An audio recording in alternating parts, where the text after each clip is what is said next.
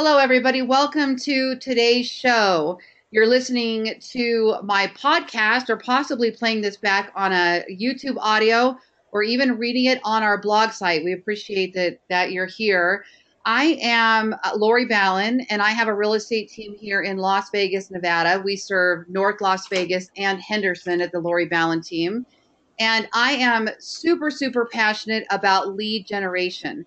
I also opened a marketing marketing company a few years ago called Ballen Brands, and we now do marketing for real estate agents. We build uh, WordPress powered, IDX driven real estate agent websites, manage pay per click services, create blog content, and um, and do your pay per click marketing. We're all out out here to help you get more leads. Well, what one of the things that I know about lead generation is that I don't know it all. I kind of uh, stay in my little pocket. I specialize in web leads. And I would say search engine optimization is probably number one for me, social media number two, and YouTube falling into both of those components number three. So I'm doing a lot with um, internet marketing. So I'm out interviewing real estate agents all over the nation that are doing something specific with lead generation that is helping them get more business. And I choose the people I interview because they're doing something interestingly enough um, that it's worth talking about, and for some of you, worth duplicating. Last week, on the last episode, I was lucky enough to have Karen Carr on the call, and Karen is doing a lot of big things with video. And uh, I backed that up today by uh, inviting Sandy Williams on the call. And Sandy has been doing some remarkable things with video herself. So I think this is kind of a great one two punch here to have the two uh, podcasts back to back for those of you that are interested in getting started with video. Now, Sandy Williams is a broker associate with eXp Realty in the Sarasota, Florida area. Her 21 years in the business has included ownership in a real estate office in Indianapolis and then making a move to the Miami area where she specialized in REO sales. After living in Miami for 11 years and consistently ranking in the top five teams of all of South Florida, Sandy decided to move again. Obviously, Sandy likes to reinvent herself. Now she's living on the southwest coast of Florida, starting all over again. And when she isn't selling real estate, Sandy writes for the Sarasota Post and spends time kayaking with her husband, Hugo. Sandy, welcome to the show. Hi, thanks, Lori. All right, so I know um, I know you personally, which gives me an advantage to our interview. So I've, I've been able to watch you grow and watch you grow in your um, in your internet marketing, and I absolutely love what you're doing with your YouTube videos, especially the ex, ex, explainer videos, where you're telling people who are buying a home or selling a home things that they need to know specifically about the process. Um, I think your first one that I really loved was uh, was it how to pass an FHA home inspection? I think it was, wasn't it? Right. Yeah, it was a two part. Uh, it was a two part YouTube video with the breakdown of exactly what an FHA appraiser looks for. Yeah, and I loved that because um, it was very, very specific. So you're answering a very specific question, which I love that because one, it those rank better on the on the search engines and on the and, and on YouTube when you can specifically talk about something very very niche down to a specific part of the process or to a specific buyer to a specific seller. And then you were very friendly very light. The energy was very light. Your video wasn't fancy but it was clear. The lighting was good. The audio was good and you just walked everybody through the process of how to pass that FHA home inspection with and you were actually at out at a house pointing to the visuals not just sitting at your desk which I also really really liked. So what gave you the idea to make a video like that? Well, it, it was basically um, as a result of listing that property. And as we know, it, well, let's back up. The state of Florida, because our prices were so high, a lot of buyers and agents aren't prepared for FHA. Now that the market has adjusted, we've entered into the ability for a buyer to buy with FHA financing. So um, the particular house that I used in that case uh, was a listing of mine. And I thought, wow, what a great way to show people, not just tell them what to look for, buyers and agents on, um, on an FHA property if you're going to get and secure an FHA mortgage. Absolutely. So, the best content for the listeners out there that are constantly um, you guys are constantly wondering, well, what do I make videos about? Well, what do I make um, write blogs about? What kind of content do I create? Sandy just hit the nail on the head. She one used her inventory to come up with ideas. What fits the listing that she happens to have? What kind of challenges and problems are people going to run into? And the best content solves problems, answers questions, and you can get the ideas for that a lot of times just from your consumers um, asking. Now, Sandy, I, I was talking to um, my assistant Sabrina, who I know also uh, works with you directly on some of your internet marketing. She said you've been really getting some great results lately from your videos. So tell us, tell us what's happening with your YouTube channel with videos recently. Well, um, Sarasota is predominantly an area where people relocate from the north. You know, we're in a beautiful area, so people in a cold weather state want to come down here and buy property. So, what I did is um, I really wanted to target market people sitting up in a winter state on their computer saying, I can't take it anymore. And so the way that we, the way I did that was through video and photos, uh, video of inside properties because I wanted to do a niche market in my neighborhood, which is new construction. And another video that is getting, I posted it two days ago. Right now, I have over 900 views on it. Um, is a drone video of the neighborhood with all the amenities that my niche has. Is that the Del Webb at Lakewood, Lakewood Ranch one? Correct. Yeah, I see that. Beautiful. How much did that drone video cost? Uh, like two hundred dollars maybe, and then um, I, I really don't have the patience to brand the photo, so I put it on Fiverr, and it was branded for six dollars. Love that. So, how much time? What did it actually take you to produce that video besides money? which isn't a lot. Absolutely nothing. Uh, I, I did meet the drone pilot out, but it's the same drone pilot I always use. Uh, so I look at him as a potential because he talks to agents every single day, right? Because that's what he does. So I wanted to walk him through the facility as well. So I spent maybe 20 minutes. Maybe 20 minutes. Okay. And then, um, are you are you putting these on your website after you're putting the video on YouTube?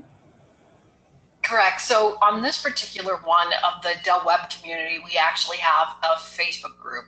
So I posted that first. I posted the drone video on our Del Webb Facebook group, and it just became viral. There's um, we're in the process of building, so there's only 200 homes, but almost 90% of the people as a member of that Facebook group looked at the video, commented, and then I had probably 10 shares from residents that posted it on their own. So I always, uh, this particular one, since it is a niche, I have a, showcase page on, on uh, my website and then I link the video back in there. And then if you look at the YouTube video, you'll see the link um, that directs them back to my website.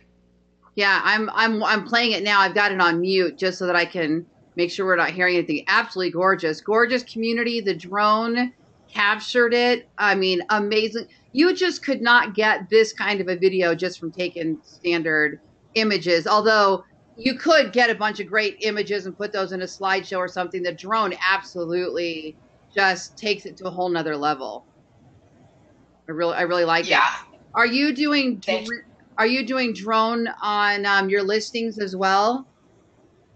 Yes. Um, uh, especially, we have great areas in um, Sarasota and Bradenton that back up to a lot of nature preserves. And so sometimes you don't even know how big it is, how big that nature preserve is until you have a video done. So there's several on my YouTube, once again, of um, homes for sale with I mean, one of them backs up to about a mile of nature preserve. And I even live on, the, I used to live on that street. Nobody knew how big that was until we actually shot it. Yeah. Oh, there's your video. Okay, so now I'm on. Um, you know, I, I'm curious about something. How on your on your Del Webb at Lakewood Ranch one. Um, oh, you have. It looks like you have two videos up there. I just want to see. Oh, okay. Okay, great. You've also got a video where you're standing there talking about Lakewood Ranch, where you're. So you've done two for that community. Right. The first one I did was a model home um, of of a you know of a particular house that you could build in uh, Del Webb at Lakewood Ranch. And that one is actually within the last week, there's over a thousand views on that. And I actually got a sale off of that video last week. How did that how did that work? So did the person call you and say, I'm watching your YouTube video, or did they register for IDX and then say, how did that go?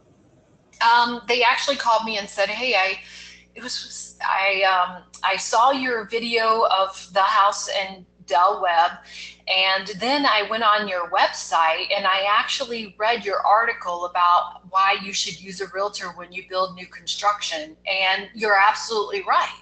I would you be my realtor uh, to buy a house in Del Webb? Yeah, uh, uh, that's amazing.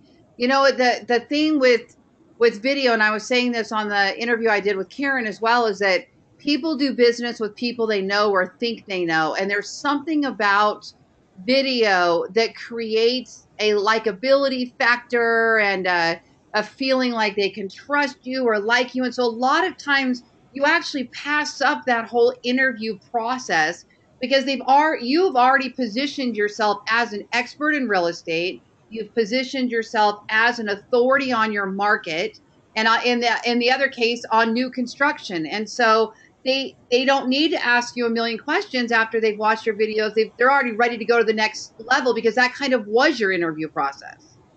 Absolutely. And, and what you said about coming as an authoritative figure in new construction, it, even the blog just really paid off. And linking, always linking back with your video uh, linking back to your website. I mean, otherwise, I w- she may have never found me, looked at the video and just moved on. But then she went into my website and looked around. Yeah, you're doing exactly what I like to do, which is multi-channel marketing. I, I always say, you know, in two in in this in this age right now, the the late 2000s, 2018, we are in a, an age where you could just do a big business off of Facebook. You could just do a big business off YouTube. You could do a big business off eh, Snapchat or Instagram or your website or whatever. But when you can use them all the channels to cross reference back and forth to each other, that's always going to be an advantage because what you can do is you create your video, you put it on YouTube, and now the people that are actually loving video or that are on YouTube doing searches or that it might be on the search engine and they find your video, you're you're appealing to that audience. But then to have a link over to your blog now you've got all of this written content where you're giving them information that they can that they can further read. And then you can use social media to, or, or pay-per-click marketing to advertise your video that's on your blog post so all of this multi-channel marketing i know is what you're doing that that helps you capture more leads Absolutely. And it, it's paying off. I can't tell you that it's something that's automatic or right away. It's something that you nurture and you feed, and then the results just happen. Right. Are you, are you, do you have any kind of schedule with um, how often you make videos, or is it just based on when you're inspired? How does that kind of work for you? The videos the videos are actually becoming more of a schedule because of the feedback that I'm getting. It's just being reinforced. So, for example, we're going to do a video again this week. So, my goal now that I have the groove of editing, um, finding somebody to edit and brand, which I definitely didn't want to take that endeavor on.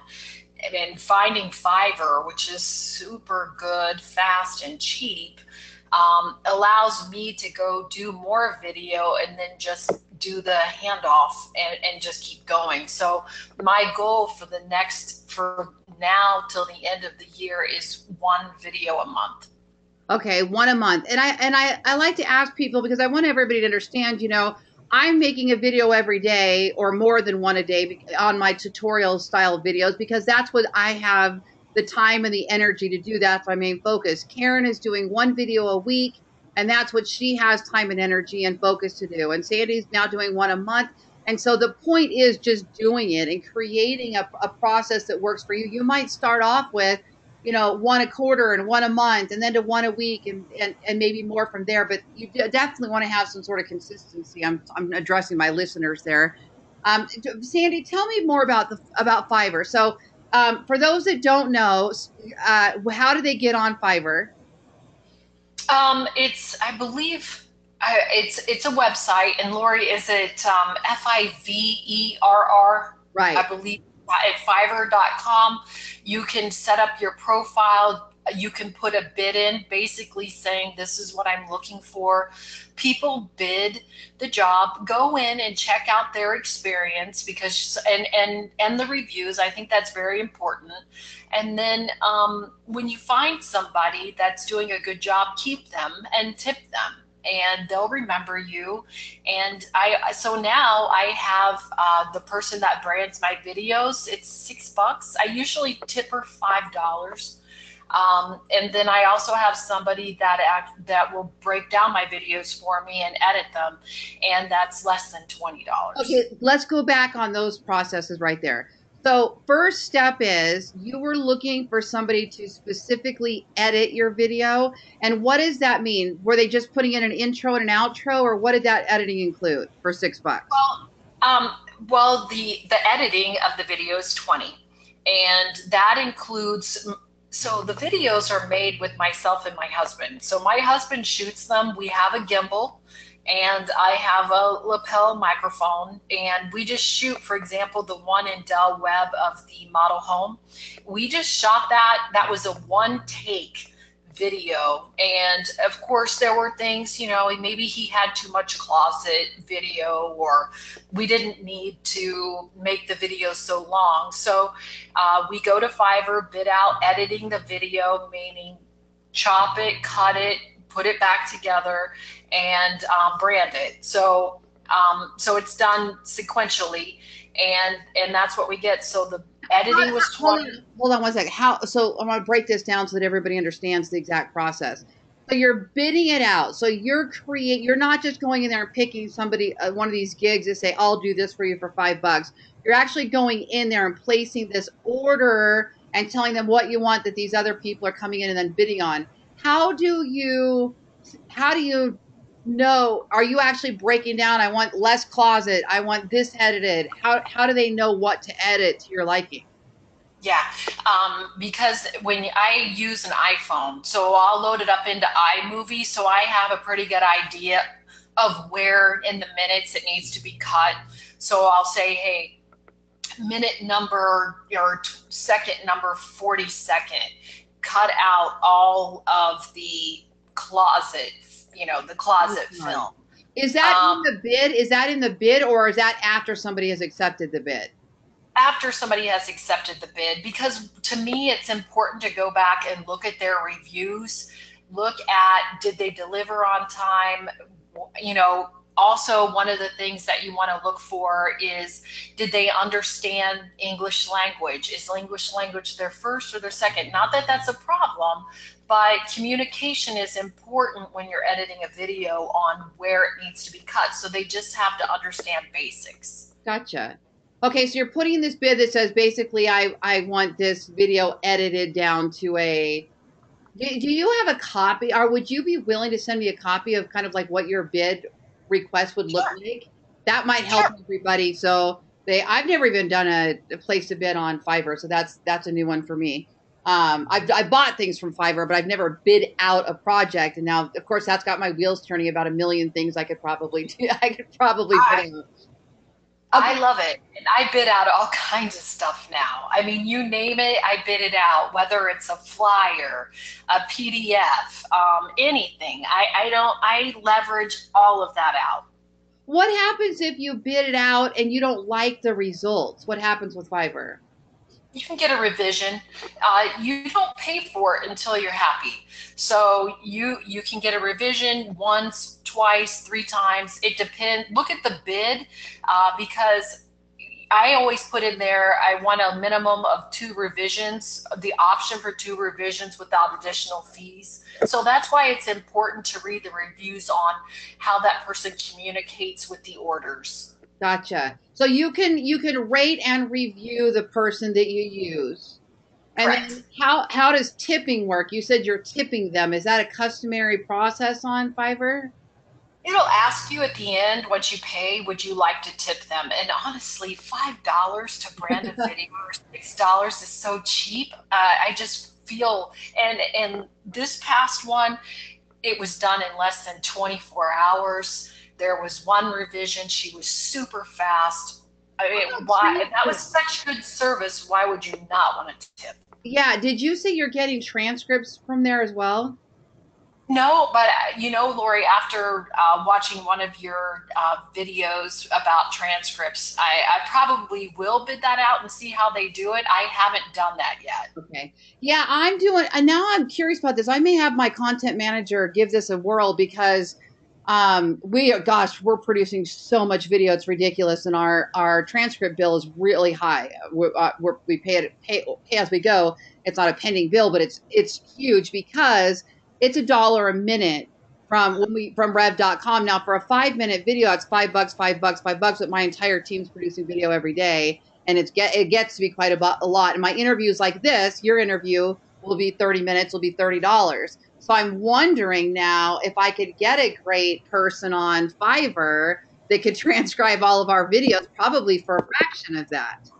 I, I, wouldn't doubt it. I mean, just to look in there, I mean, it's worth just going in there and checking out all the services. Yeah, I, will. Had a, um, I had a whiteboard video done uh, that was uh, that I use for my listing presentations, especially since once again, our clients aren't here. So our clients are all around the world and they own property here, but they don't live here. So uh, one of the things that I do is a whiteboard listing presentation, just basically an intro about myself. And uh, I did a whiteboard uh, with voiceover uh, for a hundred bucks. Wow. And those things are so expensive.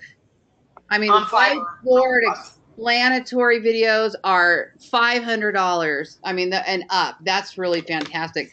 I know I've done a lot of fun things. I haven't been on here in a long time, so this inspires me. Now I want to go on there and play a little bit and see what I can find. But you know, it, it, what I love about what you said isn't even just Fiverr, although that's probably the best takeaway of the of the call. I think um, what you're what I'm hearing you say though is leverage that out, regardless of who's doing it for you. I mean, your job, your best time spent when it comes to video is doing the video because that's the hardest part. That's why people don't want to, they don't want to do, people don't want to do video because they don't want to be on the video. They don't want to do the work. They don't want to come up with the topics. They, there's a million reasons why people don't do the video. And so it's the most untapped, I mean, it's the, it's the most untapped opportunity out there, in my opinion, right now in the real estate industry is video. And, and, and especially what you're doing with the coupled of the, I love your listing videos. I love your neighborhood videos. That Del Webb one is fantastic. The um, explain explanatory explanatory videos actually being on site at a house. Oh my gosh, I just absolutely love that. And that's going to set you apart and create it and help you dominate your market because other people aren't willing to do that. What you've done very, very intelligently is you said, I don't want to sit and do the editing. Neither do I, by the way. I hate editing. And so you're like, no, I'm going to sub that out and I'm going to find an affordable way to do that so I can just go back and, and make more videos and be out in the field with those customers when they call and say, hey, come list me or come come represent me. So you know where your strength is, you know where you want to be, and you're leveraging out those other parts. Now, I will tell you that getting taking this another level and doing the transcripts on like your um, explanatory videos, if you and and and maybe we can find somebody on Fiverr to do some of this stuff too, like the SEO optimization, the SEO part of it, where they go in and create the internal links and put in the SEO stuff. But if you would take like your your of course you're already creating articles around your videos anyway, so you you might not even need the transcript if you're writing an article. The transcript oh. really the transcript really comes into play to use as the basis for your article, like to optimize as if it were a blog post. But if you're already creating an article around that, you don't necessarily need the transcript. Well, and I I think the transcripts are great because some some people watch you know on their cell phone and, and won't necessarily read the article. I just found that when I put an article, when I write a blog post and then put the video in, it's amazing when you look at like Hotjar, for example, and you look at all the clicks uh, of the video, you know they work. People like to watch video. They do. What Sandy just said, for those of you that don't know, is she uses a, a heat map software like I do called Hotjar.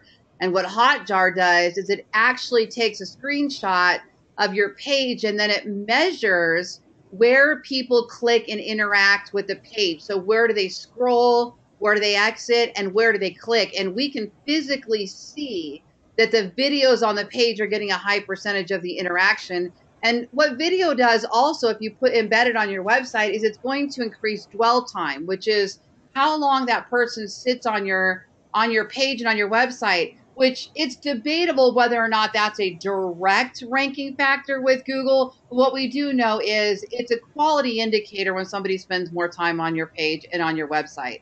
Also, the longer playtime you get on your videos, the longer watch time, the higher you rank on your YouTube channel. So when you take those videos and embed them on your blog post, and somebody's sitting there and they press play on the video and they're looking at the blog post at the same time, and you're getting more watch time in that video, it's going to help you rank higher on your YouTube channel as well. So again, that cross-channel marketing, you're getting some extra um, extra exposure there on both engines, which is incredibly powerful. So, is there any other equipment or software or anything that you're using? So, you're, I love your tip about Fiverr. I think that, like I said, the takeaway, the call, that was fantastic. Is there anything else that you got the drones? That was another takeaway for me. I've never done anything yet with drones myself. So now I'm thinking about bidding that out, seeing if I can get some drones over Summerlin out here. That's a killer idea. Um, and where did you find your drone guy? Um, they are the ones that actually uh, do the interior photos, and I, I use Matterport as well um, on certain homes. Once again, because people don't live here, so if I can give them the experience of being here without really being here, I have a better chance of selling the house if they're setting up in Connecticut. Um, one of the other things, I use a company called 10X. I believe that they're they're not just in Florida. I, I, believe they're in certain parts of the United States. So check them out. They offer Matterport, uh, drone videos, and inside videos of the home, as well as still shots. Yeah, I just saw them the other day. Somebody added me to the a Facebook group that they manage. Uh, another real estate marketer. So okay, and software you said iMovie. Although you're not doing the editing yourself, you've got a lapel mic. You use your iPhone and. Uh, um, a gimbal to hold the iPhone steady. Your husband's doing that. Is there anything else? Any other any other software equipment we didn't mention? Uh, the only other thing we'll use sometimes if we don't have a lot of natural light is we actually have a um, a light source that we carry around with us if for some reason wherever we're shooting especially inside a house i think on the fha video i was in the garage um, you probably can't tell it's 120 degrees in the garage in july in Florida. um, and so we had to make it quick, but it's dark in there. So we used a portable light source, just a you know something that stands on a on a tripod, and you can plug in, gives you a little bit of extra light, and that's it. That, that's all. It's simple. It's easy. You know, let's not complicate it. It's I think the gimbal really makes it look a lot more professional because it's a steady movement of um, of the video, and and that's it. It doesn't have to be expensive. It just has to be you.